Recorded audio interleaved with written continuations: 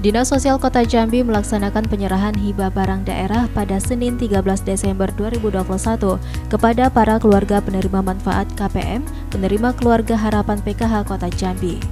Penyerahan tersebut dilaksanakan di Aula Dinas Sosial Kota Jambi dan dihadiri langsung oleh Kepala Dinas Sosial Kota Jambi, TKSK, pendamping PKH dan penerima bantuan hibah daerah tersebut.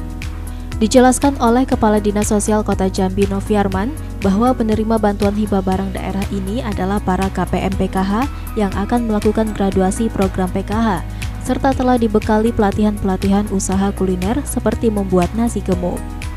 Adapun bantuan hibah barang daerah yang akan diserahkan tersebut berupa etalase atau gerobak jualan. Bantuan yang akan diberikan kepada para KPM PKH ini berjumlah kurang lebih sebanyak 40 unit. Novi Arman juga menambahkan pada tahun depan para KPM PKH yang akan digraduasi dilakukan berkala. E, barang hibah daerah ini ini sudah kami bekali dengan e, pelatihan membuat nasi gemuk. Jadi etalase dan gerobak hibah barang daerah ini akan kami serahkan kepada e, KPM PKH yang akan menerimanya.